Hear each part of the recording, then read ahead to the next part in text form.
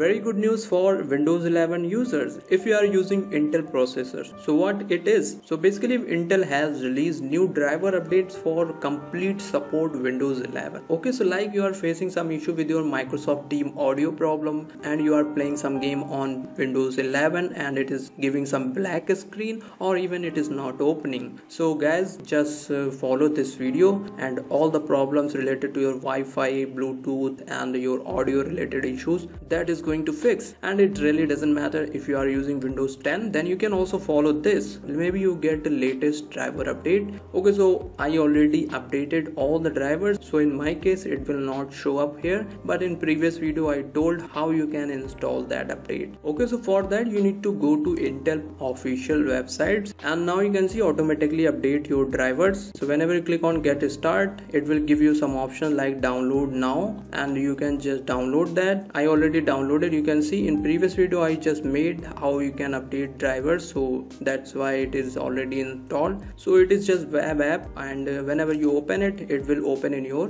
chrome browser and it will automatically detect what drivers updates are available for your specific system and it will give you some option here to update or install now. Okay so in my case you can see currently your intel drivers and software up to date so i updated so that's why i am making this video because i just try all these things on my real system. If it is working perfectly fine then i just create a video. You will see all the information of your system okay? Intel i7 5th generation nvidia geforce 920m which is a really older graphics card. So if any update available for your graphics card it will give you okay at the top. And here you will see some messages. Whenever you click on install it will download and install. And if you are really beginner guy you don't know how to install update you can watch my previous video link in the description. So i just want to tell you if you are using windows 11 you need to up to date your drivers. Otherwise you will face some issue with your internet microphone many more issues can be.